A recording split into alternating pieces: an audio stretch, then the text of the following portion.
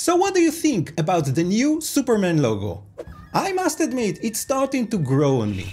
However, it will make my tattoo redundant and I'm a bit worried about this guy. So, to ease the pain, I'll show you how I created this short teaser for the upcoming movie, which is only one year away, or maybe sooner depending on when you are watching this. We'll start with the basics and then move to the advanced Kryptonite stuff. By the end of this, you'll believe a logo can fly. The most obvious approach would be to use the shape repeater. To do it, we need a shape. So I have a live text here that I wrote the word Superman in Futura SC Demi. And notice the fill is set to none and we have a 4 pixel stroke. Uh, I'll right click on it and then choose create, create shapes from text and After Effects is going to switch off the text and create a shape with the same properties. So no fill and 4 pixel stroke. Then I'll open it up, I'll drill down the contents I'll select the word contents and then from these add options, I'll add the repeater. This is going to edit after all those shapes and you can group them if you like.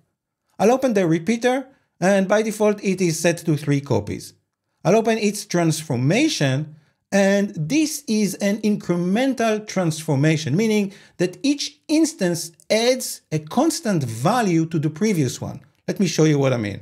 I'll set the position x to 0 and then change the scale to 102. Now, if I raise the copies, you can see how this works. So you can set it to as many copies as you like. Let's go with 130. And then you can play with the other properties. So for example, if I'll change the position Y to 5, it's going to fill up the screen. I'll create a keyframe at the beginning and then move to three seconds and set it back to one instance.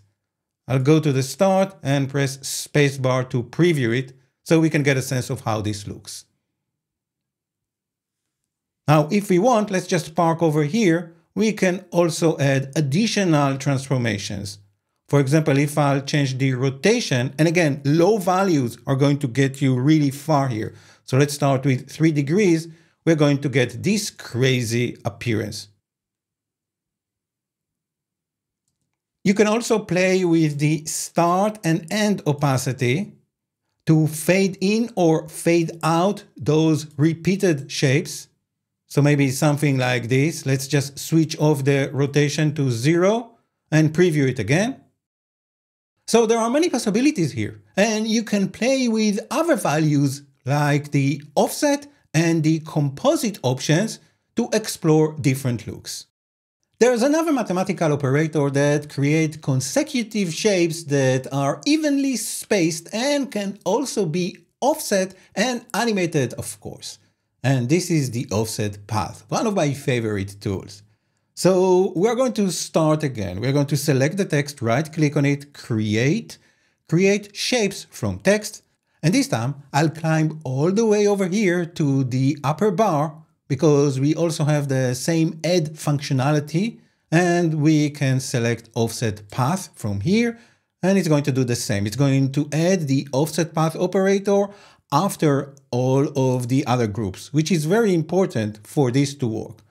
Now, first I want to show you what this does. So I'll start by playing with the copy offset. I'm just going to drag it to the right or to the left so you can see we are basically moving the individual path.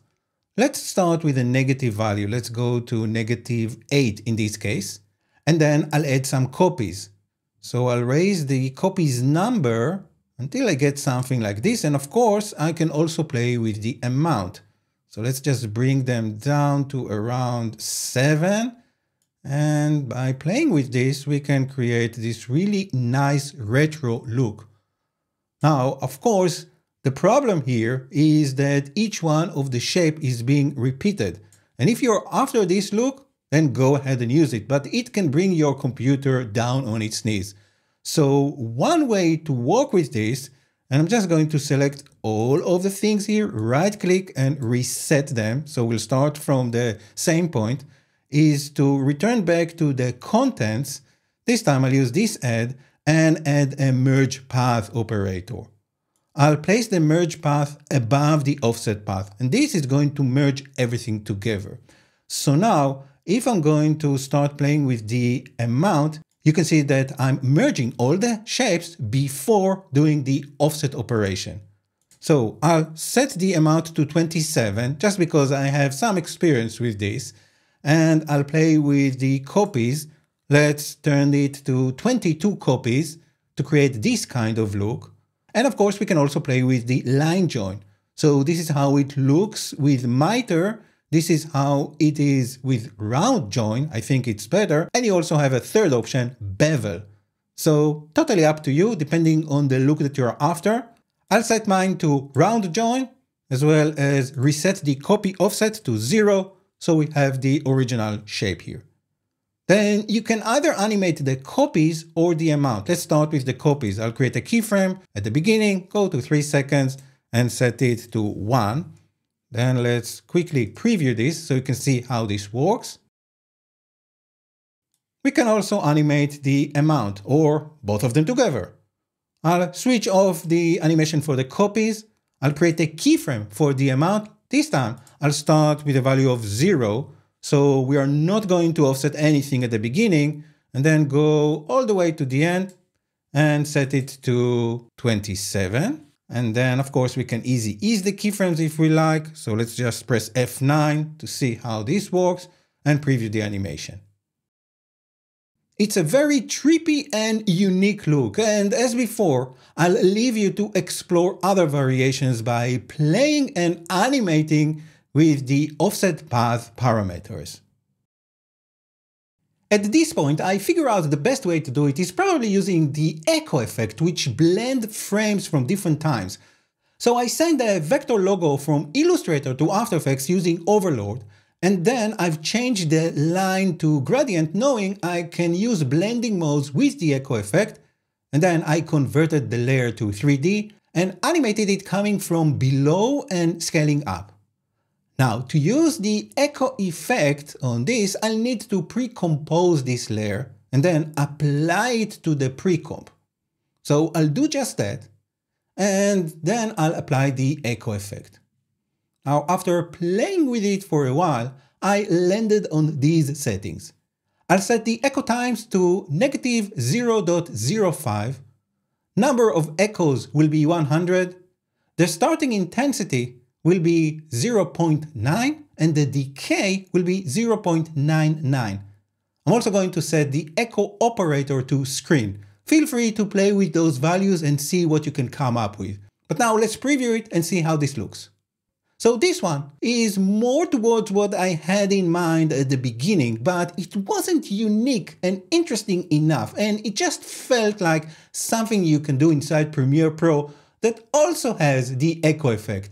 So let's see how we can make it even more sophisticated. It suddenly hit me that to create something more articulated, I can use the radio waves effect, which generate expanding shapes based on a polygon, image contours, or mask. To test my idea, I returned back to the text layer and figure out that I can combine both techniques together. So to use it, what we need to do is select the Superman text layer, but this time we'll need to convert it to masks. So I'll right click on the layer and I'll choose create, create masks from text. While this layer is selected, I'll go to the effect menu and from the generate category, I'll apply the radio waves effect. So by default, if I'll just preview it, this is how it looks it creates some sort of a beaming effect from the middle of the screen. However, we can set it to use different shapes here. So instead of this polygon, we can choose either image contours or mask.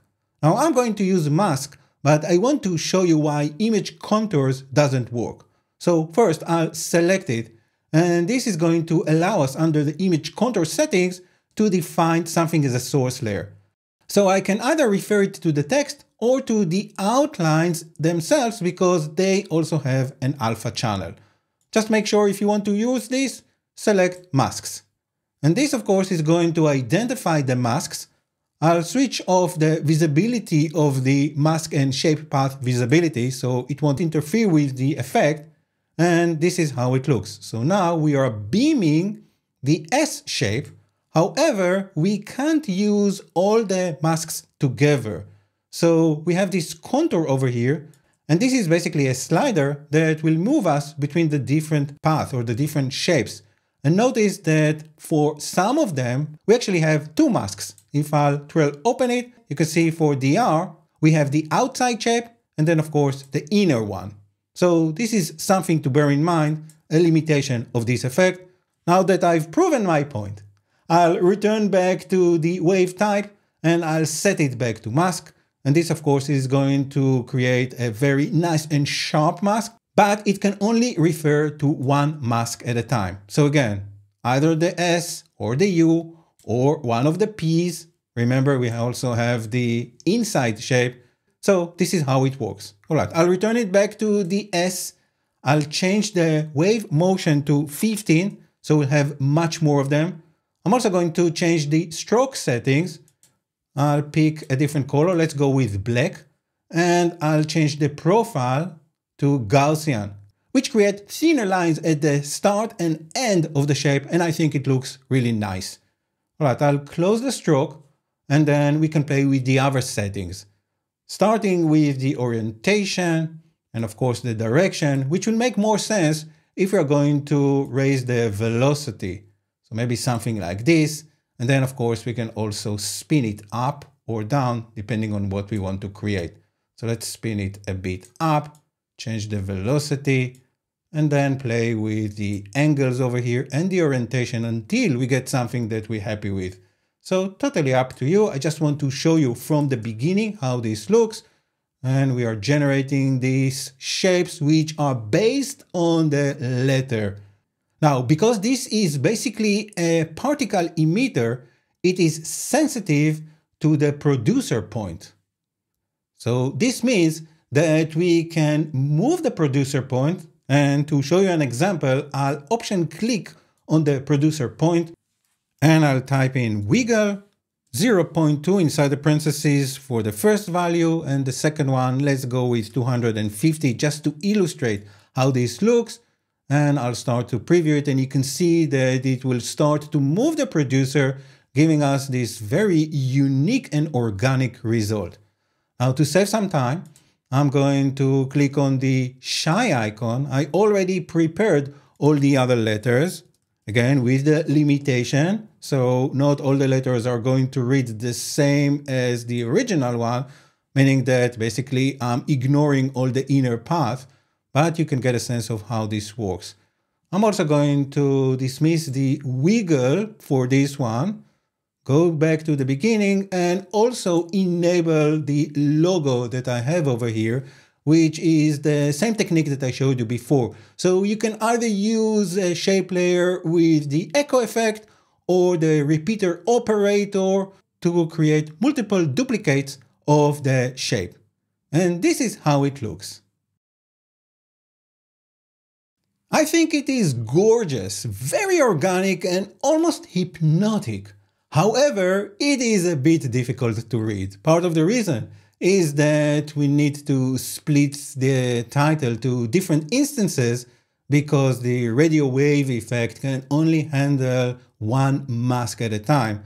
And this can be to your advantage or the other way around, depending on how you want to look at it. But there must be a better way to work.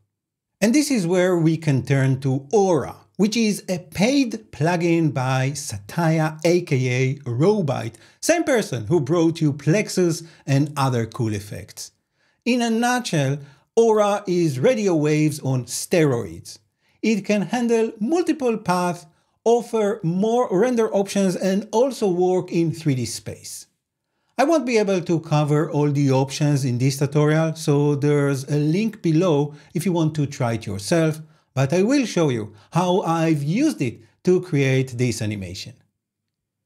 So on a solid layer that I've named after the effect, I have three masks that I copied from Illustrator.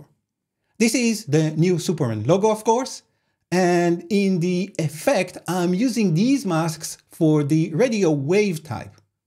The biggest deal here is that I can use all paths together, so there's no need to create several instances of the effect like I showed you with the radio waves effect. I've also changed the frequency to 15 and set the time factor to 3, and this is another unique feature. It allows you to control the time internally. In the wave settings, I've modified the color gradient to the Superman logo colors and played with the start and end size, as well as the lifespan, opacity, orientation, and spin.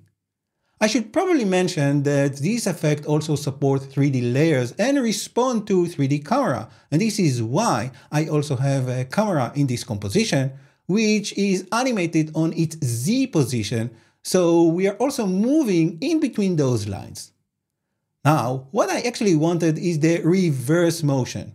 So I pre-comped this and add a time remapping effect to reverse the motion, which now starts with all the lines filling the screen and then rotating until they form the logo. When this animation ends, I have two additional copies of the logo layer using the aura effect again, but this time the effects travel forward to create additional lines emitting in the other direction. Behind, I'm revealing two text layers that uses the logo as inverted track matte, and there's also a free stock footage clip from Adobe with a blue smoke in the background. A touch of colorized glow using the optical glow on and adjustment there, as well as a CC vignette above, is giving us this look. Everything is also synced to the orchestral sound that I found. This is an old stock clip from Digital Juice, something that I don't believe exists anymore, but it still lives on my hard drive, so why not use it? And this is the final result.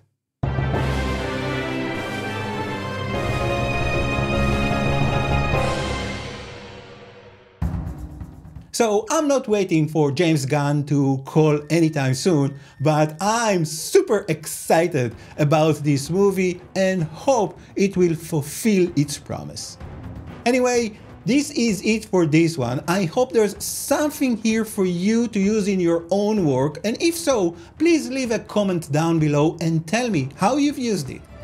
If you'd like to see more techniques to repeat stuff in After Effects, make sure to watch the live stream episode I did with Adam Bennett from the video show. The link is down below. Until next time, I remind you that if you do good to others, any one of you can be a Superman.